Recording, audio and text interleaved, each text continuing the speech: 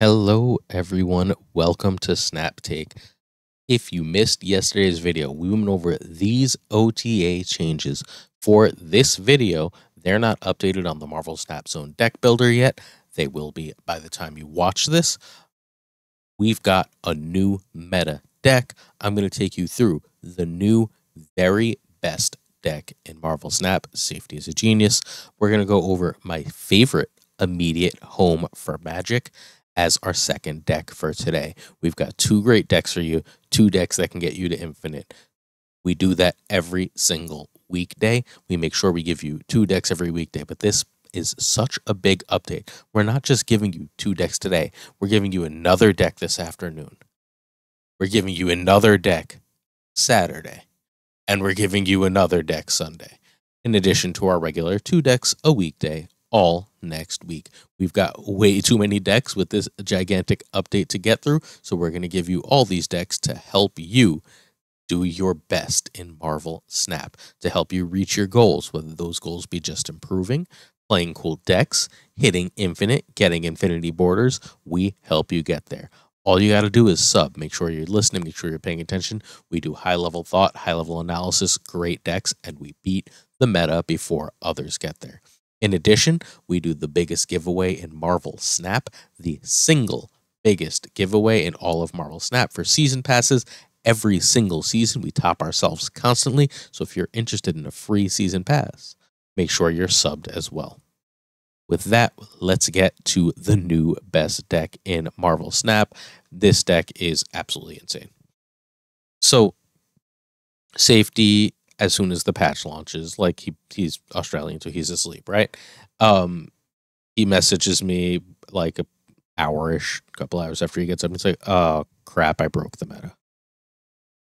I was like, "Oh, this deck doesn't look that special. Like it's good, right?" Like he tweets this out. It doesn't go as viral as his stuff usually does because like everyone's tweeting like a maniac for this ridiculously huge patch. Um, it doesn't go as viral as it usually does. I decide, all right, let's take this for a spin. I message him back what did you do? Um, this deck is so good. I'm not a thousand percent sure bounce even needed to be nerfed. It goes over the top of bounce with relative ease. Let's talk play patterns. You can build with Phoenix, and remember, Phoenix is a 4 or 5 now, and Ghost Spider is a 1 2. Those are the two cards that have changed in this deck. So you can choose three different play lines. All of them are wildly. If your opponent is very unlikely to be running Killmonger, there's a lot of Mr. Negative in the meta right now. There's a lot of um I mean, there's a lot of jank in the meta right now as people try and figure it out. There's a lot of Thanos that's not running Killmonger, et cetera, et cetera. If your opponent is not running Killmonger, you can build an absolutely insane Human Torch. To do this, you just play Human Torch, you Carnage or Venom it. Um, at that point, you can um, Phoenix Force it. You don't even need to Shuri, to be perfectly honest, for Human Torch. You Phoenix Force it, you drag it around a couple times, you don't play anything else, and then when it's like 40, 50 power, you drop a Taskmaster. And then you have like 40 power in two lanes, and you just sort of shrug and move on with your life. Um, it doesn't have to be Taskmaster. You can just Shuri Red Skull the last two turns. Um, if you Phoenixed on turn four and you move it once, you can play um, a Ghost Spider, for example, to pull that Human Torch for an extra move, and then play Shuri. Then you can drop Red Skull on that Shuri and move the torch again for just absolutely bonkers walls to the wall, uh, balls to the wall power. There's lots of ways to do this that's that are completely insane. There's also obviously the Shuri before Phoenix play also works just fine. Um, Torch is the only way that so that doesn't really work with the Zabu combo because you would need to go like Torch, Zabu, Shuri, Force, and there's no extra mana to kill the Torch there. So unless your opponent does it for you by foolishly playing Killmonger, that's a bad play. Um, armor is here to protect wherever Human Torch or wherever Red Skull ends up. Well, you just decide to drop it there. That's just one lane you don't have to worry about. You've won that lane unless they uh, and I guess unless they Shadow King Shadow King is your one concern, but Shadow King, it will be cycling down in the meta for a while. I'm going to argue I think he should come back. We'll talk more about that in a minute. Okay. The other play line is your multiple manning. You multiple man, destroy multiple man. At that point, again, you're choosing Shuri Phoenix Force or just Phoenix Force. The beauty of just Phoenix Force is the Phoenix Force is now five, multiple man is two. That equals eight. You have eight power to drag around on turn four, so that means you get the two free moves.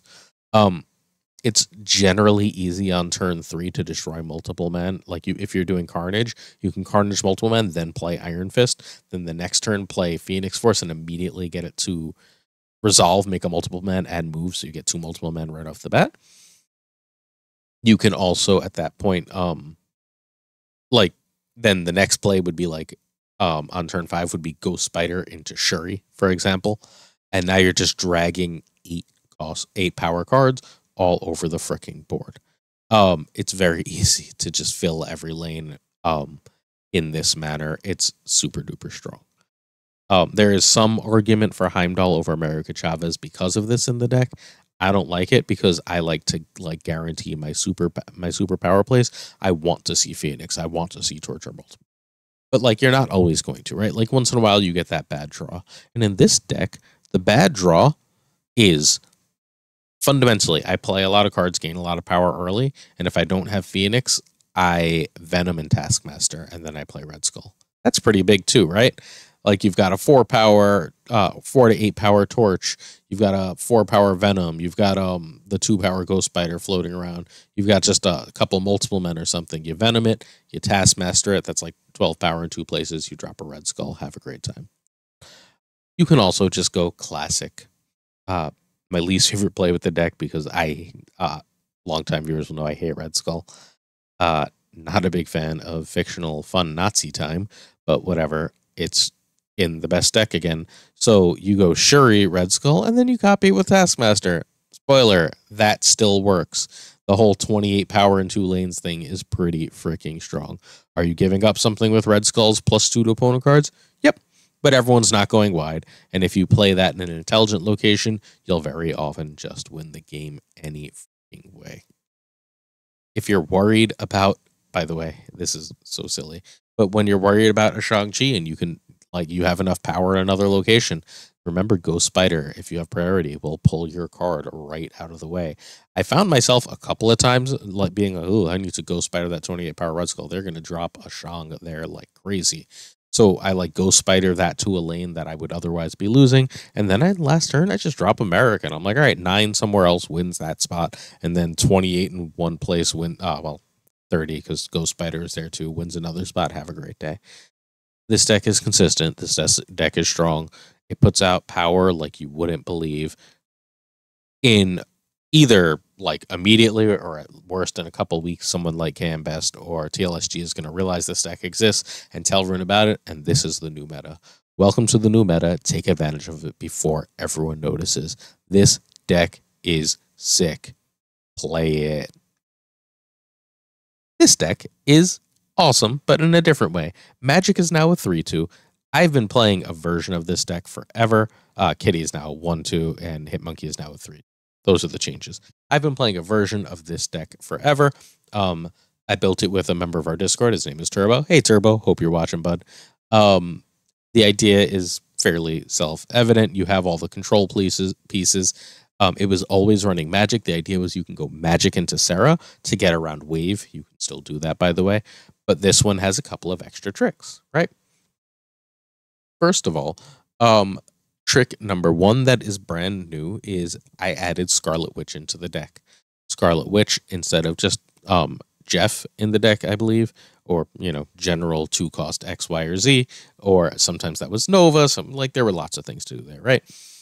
Um, if if you make uh, a um excuse me if you early on make a why can't i think of the name of uh limbo? There we go Magik's location. If you make a limbo right your opponent is not going to be assuming that you're going to scarlet witches witch it our friend the savage yeti came up with this game plan ages ago but it's always been very hard to pull off because of the expense of magic now it's much much easier to do you can do something like um, Magik on turn four, Sera on turn five, and then play um, like a Hit Monkey, a Mysterio, a Scarlet Witch, and win that last turn turning off limbo and closing out the game as a way to steal extra cubes. Now, there's everything else should be self-explanatory, right? Kitty still synergizes just fine with Angela Bishop. Is she a strong? No. Hit Monkey still works really well on that now seventh turn, or works just as well as always if behind Invisible Woman. Killmonger and Shang-Chi still work behind Invisible Woman. The one new card here I'm not sold on is Shadow King.